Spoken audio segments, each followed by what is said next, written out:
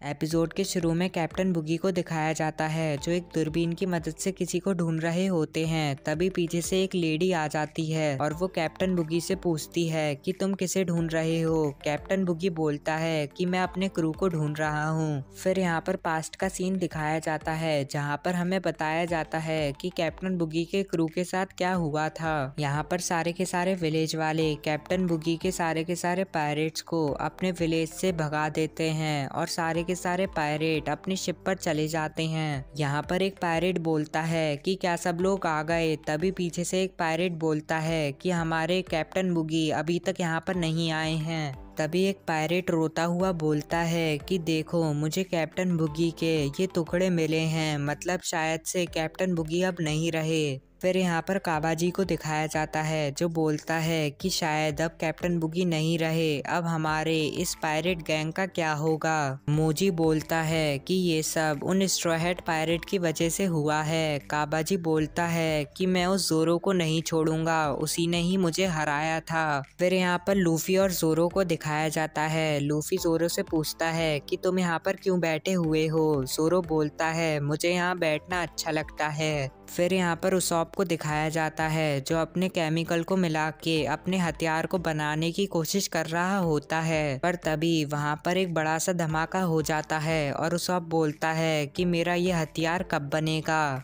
फिर यहाँ पर एक दूसरे आइलैंड को दिखाया जाता है, जहाँ पर सारे के सारे बुगी के पायरेट होते हैं और वो बुगी के लिए एक ग्रेव बना देते हैं और वो सब बोलते हैं कि हमारे कैप्टन बहुत ज़्यादा महान थे, उनने हमारे लिए बहुत कुछ करा, अब वो नहीं रहे तो इसलिए हमने ये उनके लिए ग्रेव बनाया है। काबा जी बोलता है कि तुम सबने बिल्कुल सही बोला, वो बहुत ज़्यादा महान थे, अब उनके जाने के बाद ये सारी रिस्पॉन्सिबिलिटी मेरे हाथों में ही आती है। ये सुनकर पर मोजी बोलता है कि तुम्हारा इससे क्या मतलब है? मैं ही वाइस कैप्टन था, इसलिए मैं ही इस पूरी की पूरी पायरेट शिप का कैप्टन बनूँगा। काबाजी बोलता है कि सपने देखना बंद करो, मैं ही यहाँ का कैप्टन बनूँगा। मोजी बोलता है कि इसका फैसला तो हम लड़के ही करेंगे, चलो लड़ते हैं, जो भी जीतेगा वो ही कैप्टन बनेगा। और यहाँ पर उनकी लड़ाई बिल्कुल स्टार्ट हो जाती है। काबाजी और मोजी एक दूसरे पर बहुत तेज़ी से वार कर करते हैं, पर उन दोनों की ताकत बिल्कुल एक जैसी ही होती है, इसलिए वो बिल्कुल एक जैसे ही लड़ रहे होते हैं और वो बोलते हैं कि शायद हमें इस लड़ाई को बहुत ज़्यादा तक खींचना पड़ेगा, तभी हमें रिज़ल्ट मिल पाएगा।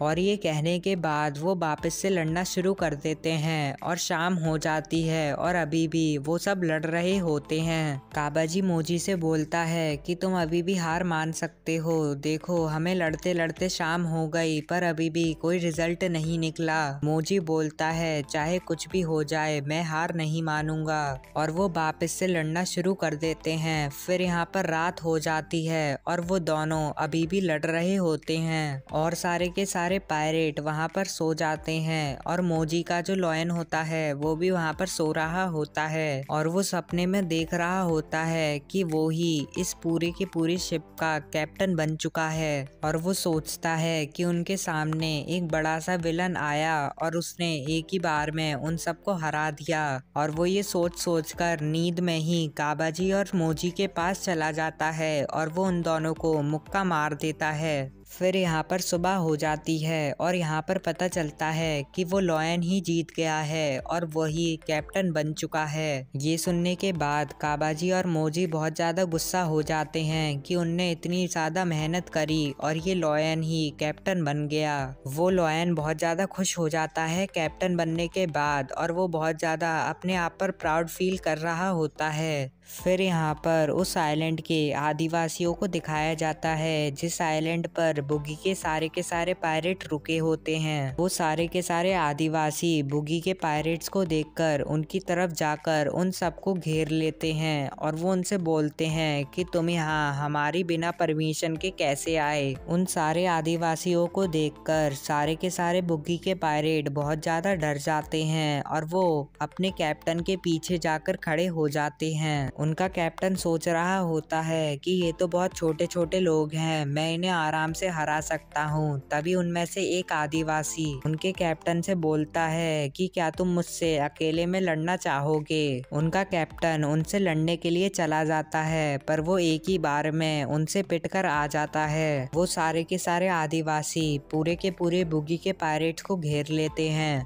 फिर यहाँ पर कैप्टन बुगी को वापस से दिखाया जाता है, जो अपने क्रू को अभी भी ढूंढ रहा होता है, तभी वो एक जगह पर देखकर बोलता है कि देखो सामने मेरी शिप खड़ी हुई है। इसका मतलब यही है कि मेरे सारे के सारे क्रूमेट भी वहीं पर ही होंगे। चलो हमें जल्दी से वहाँ पर जाना पड़ेगा। और ये कहने के बाद कैप्टन बुगी और वो लेडी उस आइलैंड पर चले जाते हैं, पर जैसे ही वो वहाँ पर पहुँचते हैं, बुगी देखता है कि उसकी ग्रेव वहाँ पर बनी हुई है। वो लेडी बोलती है कि ये किस जोकर की फ़ोटो इस ग्रेव पर लगी हुई है। बुगी बोलता है कि तुम ऐसा कैसे कह सकती हो? ये मेरी ही फ़ोटो है। ये कितनी सुंदर लग रही है। कैप्टन बुगी बोलता है कि इसका मतलब मेरे क्रूमेट मेरे बहुत ज़्यादा पास हैं और वो ये कहने के बाद इधर से उधर देखता है और वो अपने क्रूमेट में से मोजी और काबाजी को देख लेता है और वो बोलता है कि मुझे अपने क्रूमेट मिल गए। देखो वो वहाँ पर हैं और वो अपने क्रूमेट के पास चला जाता है। जैसे ही काबाजी और मोजी, अपने कैप्टन को देखते हैं, वो बहुत ज़्यादा खुश हो जाते हैं और वो बुगी को अपने गले से लगा लेते हैं और वो बोलते हैं कि हमें आपसे मिलकर बहुत ज़्यादा खुशी हुई, हमें तो लगा था कि आप अब नहीं रहे। बुगी बोलता है कि मुझे भी तुमसे मिलकर बहुत ज़्यादा खुशी हुई है, पर तुम्हारी ये हालत किसने करी? मोजी ये सुनकर सोचता है कि उसने अगर कैप्टन बुगी को ये बताया कि हम उनके पद के लिए लड़ रहे थे तो वो बहुत ज़्यादा गुस्सा हो जाएँगे। इसलिए वो बोलता है कि कुछ अजीब से लोग यहाँ पर आए और उनने हमें मार दिया और वो यहाँ से हमारे साथियों को पकड़ के ले गए। ये सुनकर बुगी बहुत ज़्यादा गुस्सा हो जाता है और वो कहता है कि मैं उन आदिवासियों को नहीं छोड़ूँगा। फिर यहाँ पर उन आदिवासियों को दिखाया जाता है जो बहुत ज़्यादा खुश होते हैं और वो कहते हैं कि इन पायरेट्स की वजह से आज हमें बहुत ज़्यादा अच्छा खाना मिलने वाला है। तभी उनमें से एक आदिवासी बोलता है कि देखो बॉस हमें ये बहुत सारे टुकड़े भी यहाँ पर मिले हैं। हम इसका क्या करें? उनका लीडर बोलता है कि इसे भी उनके साथ ही पका दो, हम इसे भी खाएँगे। फिर यहाँ पर कैप्टन बुकी को दिखाया जाता है, जो एक पहाड़ के ऊपर से अपने टुकड़ों को कंट्रोल कर रहा होता है और वो उन सारे आदिवासियों को अपने डेवल फ्रूट की मदद से मारने लगता है और वो कहता है कि तुम मेरे साथियों को नहीं मार सकते और वो ऊपर से आ जाता है। सारे के सारे आदिवासी उसे देखकर बहुत ज़्यादा चौंक जाते हैं। कैप्टन बुगी अपने सारे के सारे टुकड़ों को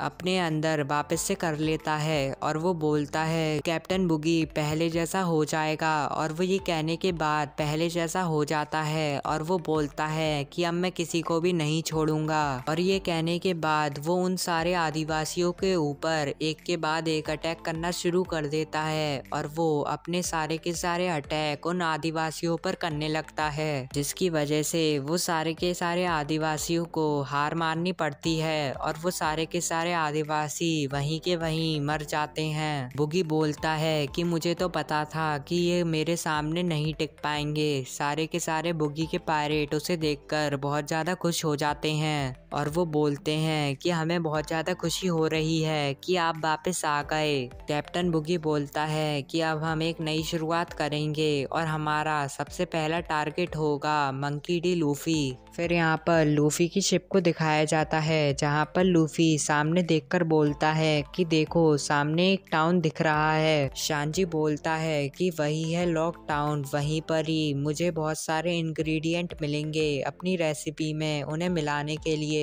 जोरो बोलता है कि मुझे भी अपनी नई कटाना लेनी है, क्योंकि अब मेरे पास बस एक ही कटाना है और मैं तीन कटाना यूज़ करता हूँ। पीछे से उसॉप बोलता है कि मुझे भी अपने लिए कुछ हथियार लेने हैं। इसलिए ये शहर मेरे लिए बहुत ज़्यादा इम्पोर्टेंट है। लूफी बोलता है कि तुमने बिल्कुल सही कहा, ये शहर बहुत ज़्यादा इम्पोर्टेंट है, क्योंकि ये वही शहर है जहाँ पर महान गोल्ड डीरोगर पायरेट्स का राजा जन्मा था और यहीं पर ही वो मरा था।